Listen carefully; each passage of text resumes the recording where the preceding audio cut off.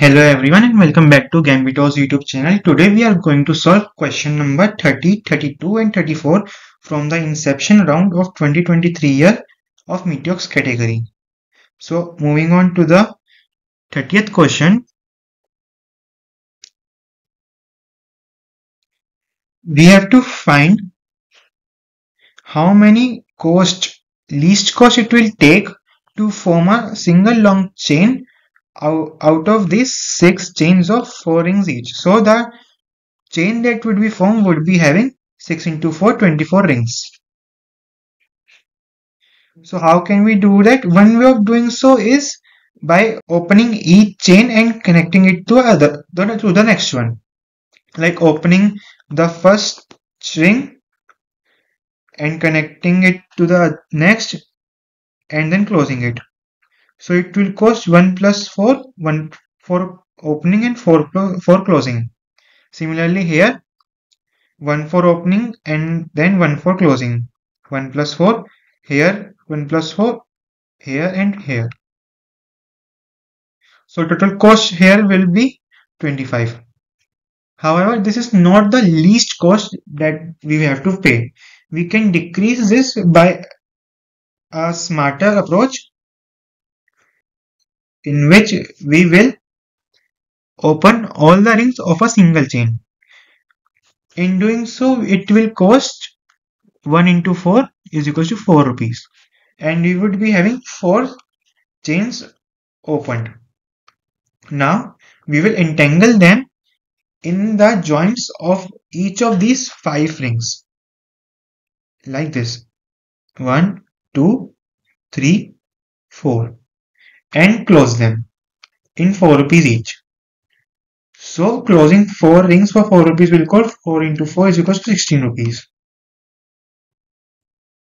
Hence, the total cost incurred will be 4 plus 16 is equals to 20, which is our answer. Moving on to the next question, question number 32. We are given that there are 20 people, P1, P2 to P20 for each group of 4 people out of these 20 people given at least one of those 4 know the other 3 persons. Hence if we take any group like P5 P8 P12 P15 at least one of them knows other 3 and if X knows Y, if P5 knows P8, then P8 also knows P5. So it goes two way. However, it is given that there are 3% P1, P2 and P3 who do not know each other like P1, P2 and P3 do not know each other. So P1 do not know P1, P2 do not know P3 and P1 do not know P3. So we have to find how many of the how many of the person out of this 20 know everyone else. Like for P1 if P1 knows all P2 to P20 all all remaining 19 people then the count increases by 1. So we have to count the number of persons. How we will do so? It is given that P1, P2, P3 don't know each other. So if we take another person with them like P1, P2, P3 and Px, x can be P4 to P20.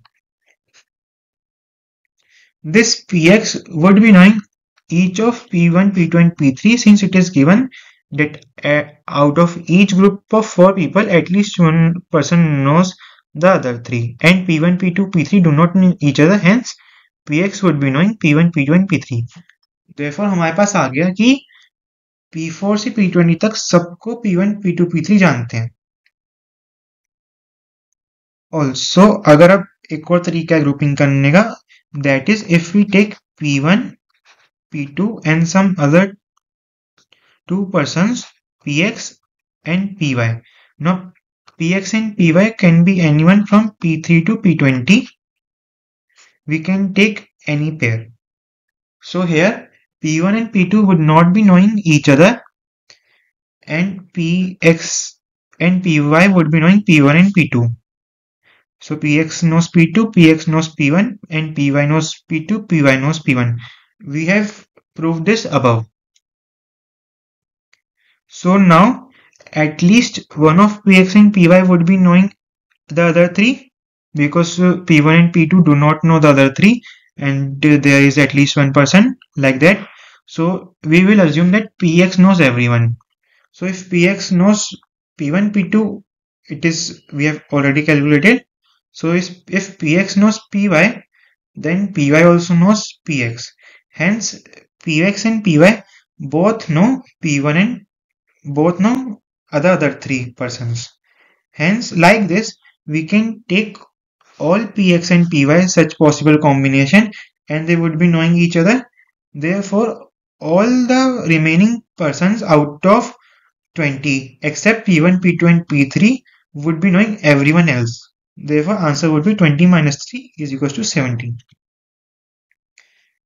moving on to the next question question number 34 we have to calculate the number of times 5 occurs while writing the numbers from 1 to 1000 and we have to report the sum of digits of x of the calculated number. So how are we going to do so? One of the ways always brute force you can apply some mathematics and see some sequences and know how many times 5 will occur. One smarter way is is to see from probability or observation. So number of times 5 occur in writing 1 to 1000 would be equal to times it occurs while writing numbers from 0 to 999. Since 5 do not occur in 0 and neither in 1000 so our count will remain same.